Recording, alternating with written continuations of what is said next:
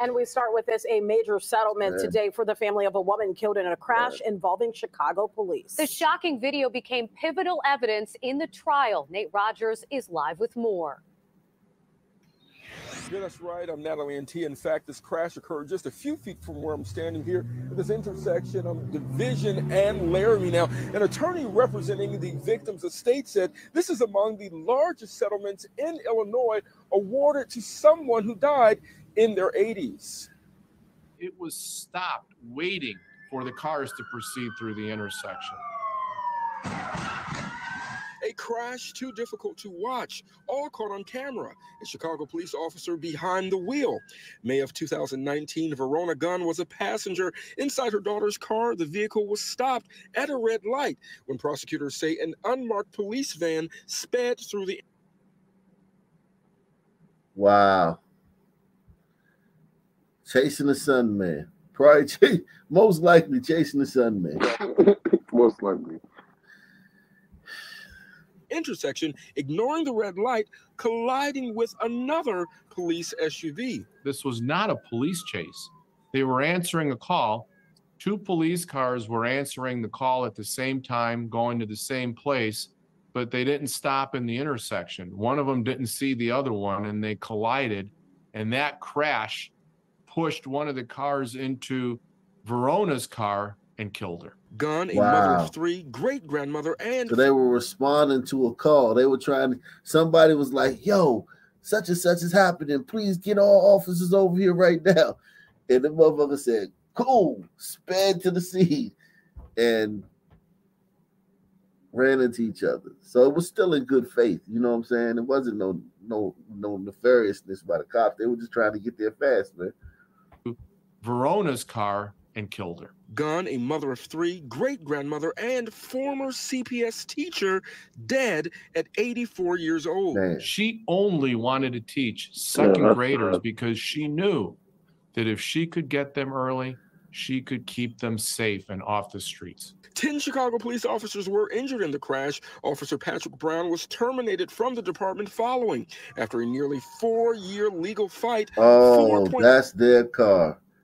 So this car, that's how fast it could happen. Look how fast it happens. Like you're just sitting there, and next to you know, boom.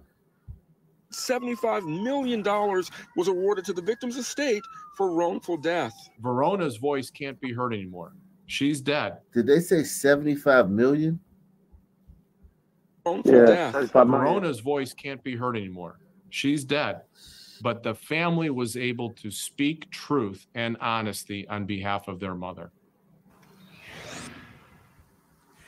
Now, according to a statement from the victim's son, Pastor Dwight Gunn, who happens to be a well-known leader here on the city's west side, that statement reading in part, quote, it is our hope to honor our mother's legacy by continuing to push for reforms that improve safe driving and eliminate accidents caused by the Chicago Police Department. Of course, we reached out to the city for comment on the settlement.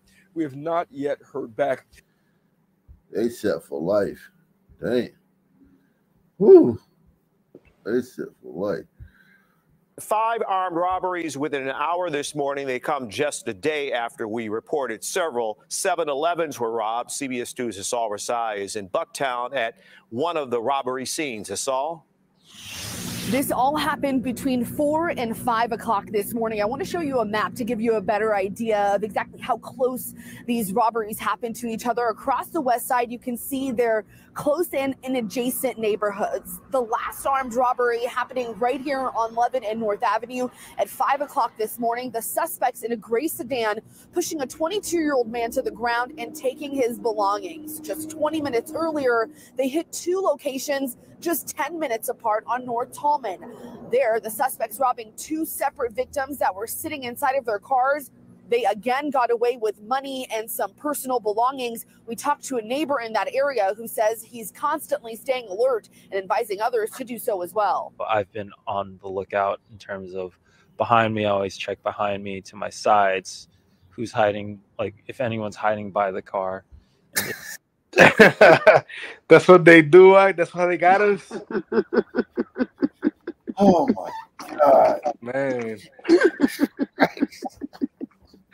You gotta adjust. You gotta adjust to you know to the Yeah. neighbors.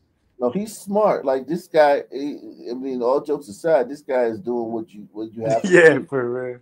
I mean, but gee, But but let's be honest, like th- this is all happening because the malls are not allowing them to go there. They don't have shit to do, you know. you don't have nothing to do, man.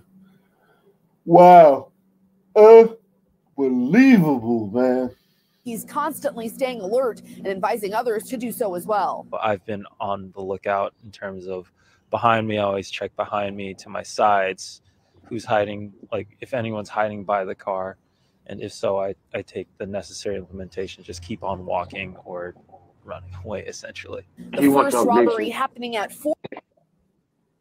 I, I like his honesty. He said Yeah, he run wants. for his life. I think he wants our nation. Yeah, no, he made a good decision because if they're following you, don't go to your fucking car. Like, yeah, like you just walk past it, like you- you act like you keep walking. Yeah, keep on walking, or or like if you get somewhere, like run. Yeah, because yeah, like you can run into like a crowd of people and like Right. you know what I'm saying. Like you don't just want to be on a quiet street with them. Right. Or or do what what Mayo was doing, just open fire, you know? Yeah, Mossy. Yeah, Mossy. Just yeah, just shoot all of them. Yeah, yeah, that's fact.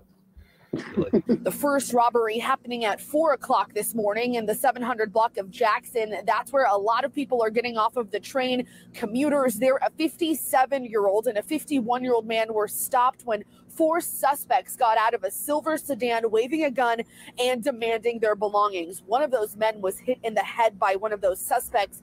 20 minutes later at 420, police say that same car description, four suspects took down a 69 year old man in the 800 block Son, man, hell on some seniors, man. of North Wolcott, taking his belongings at gunpoint. Right now, there is no indication that any surveillance cameras, at least in this area, caught that fleeing car. Right now, we do.